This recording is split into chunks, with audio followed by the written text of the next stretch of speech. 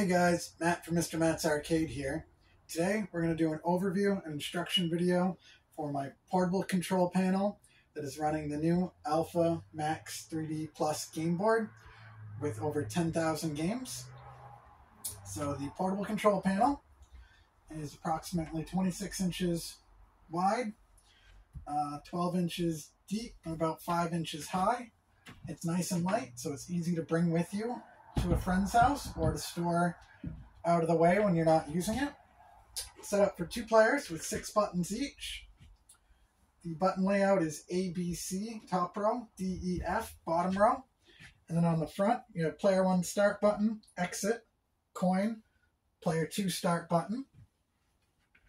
On the back, you have an on off switch and a volume adjusting knob, and then also a removable HDMI cord, and a removable power cord.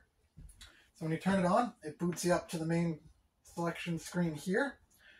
And at the very top here, we have several categories. We have 3D, 2D, favorites, recently played, and search.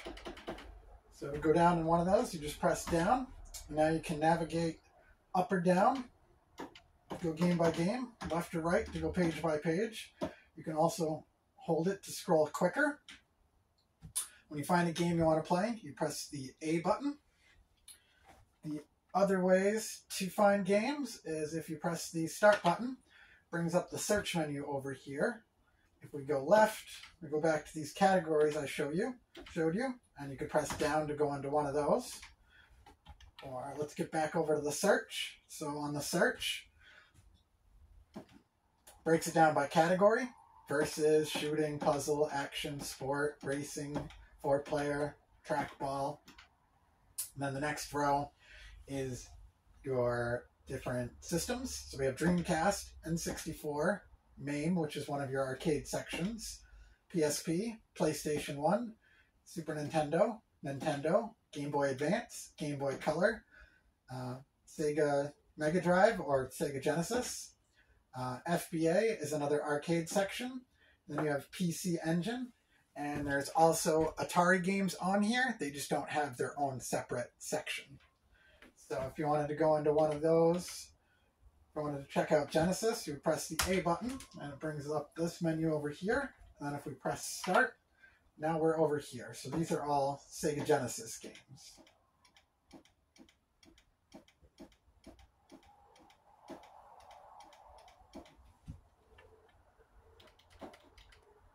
Press Start to go back over here. And then you can go to Main, which is the arcade, press A, and then press Start. Now we're over here in the arcade section. And these games are separated by system and for the most part are in alphabetical order. I'll show you one other way to find a game. Press the start button to get over here and then you can also search by name. It tends to work best if you only type out part of the name, not the entire thing. And you press start and now this has every game that has the word Donkey K in it. So let's load up the original Donkey Kong. The A button loads it up.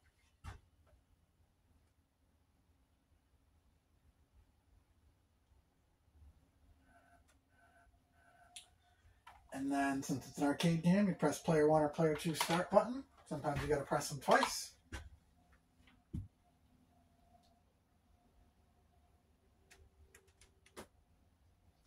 A lot of the games use the top row of buttons. Some of the fighting and console systems use all six. Usually it's best just to press each button when you start a game until you figure it out. And then to pause, you press the pause or exit button. It brings up this menu. Um, some games support save state, so we'll do save state. And go back in. Oh, and then we died. So if we press the exit button again, go down to load state, it picks up right where we left off.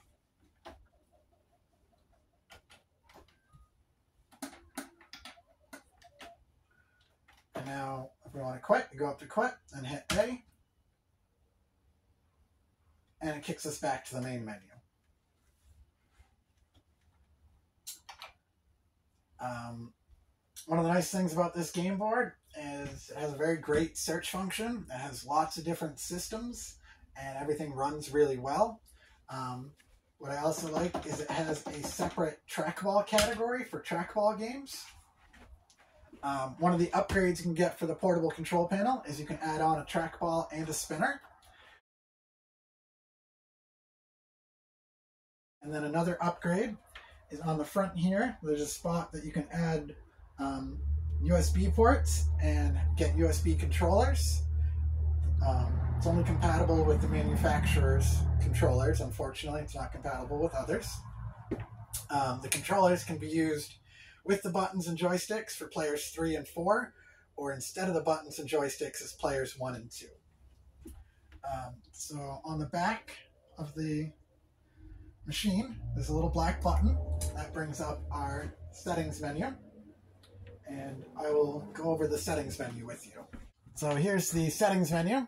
So one setting to show you is key settings and key testing. This is your I.O. test.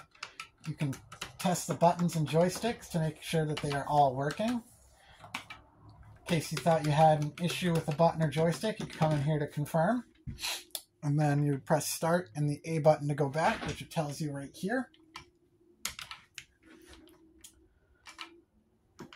Um, the other ones to show you is graphic mode. It's either close or open. If you set it to open, it adds a smoothing filter to try to smooth out the games. Some people like the way it looks, some people don't. It's just something that changes the appearance that you can play with. Uh, the other one to show you is game settings, and you can press A to go in it. Over here, it gives you instructions on what buttons to use. Um, so you have game difficulty setting, so you can change the difficulty and lives of some of the games. So if you look over here, right now, Tekken is set at difficulty 0, lives 5. If we press A, now it's difficulty one, two, three, back to 0. And then if we press B, right now it's set at lives 5. Now it's lives 1, 2, 3, 4, 5. Um, and you could apply these settings to all of the games by pressing the C button. Um, then start goes back. The other one to show you is edit games list. In here, you could hide games. So if there was games you didn't want to have shown up in the menu or you wanted to hide from your kids, you can go through and hide them one by one by pressing the A button and it puts a little mark next to it. And then when we go back to the main menu, those games will no longer be visible. Um, the other option is B, which hides all, and then you could go through and just turn on the games you want. And then the C button is show all and turns them all back on. And then start goes back. The other one to show you here is game controller. Right now it's set to console. If we had, if this model had the USB controllers, um, right now they would be set for players three and four. But if we switch that to handle, that would set the USB controllers to players one and two. And then start goes back. And that's all the settings you really need to know about for this model. Uh, the other thing to show you is restore factory settings if you came in here and you messed up the settings somehow, you could do a restore factory settings to set it back to default. And when you're all done, you press start to go back and it kicks you back to the menu. So if you had made any changes, they would now be visible. When you're all done playing, you would just turn off, you would exit back to the game selection screen, and then you would turn off the power switch that's in the back. Here's what the back looks like. You have your power switch over here on the right, your little volume knob on the white box, and the little black settings uh, button right next to it, as well as your HDMI and your power cord. Uh, it shouldn't hurt anything if you kill the power mid-game, but it's safest to back out to the game selection screen first.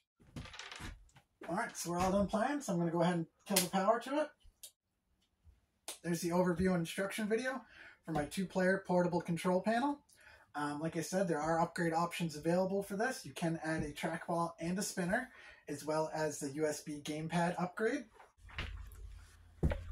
The other thing I wanted to show you is I just recently designed and built this portable control panel stand, which is perfect if you want to turn your portable control panel into a pedestal style cabinet so you have some place to play it so you can stand up and play.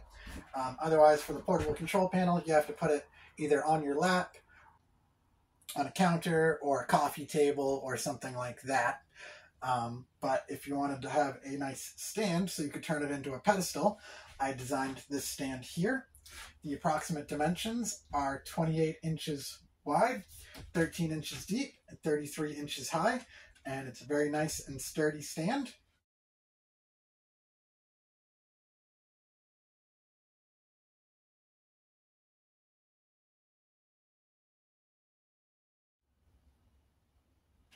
So that is a new product that I'm offering to allow you to turn your portable control panel into a pedestal cabinet.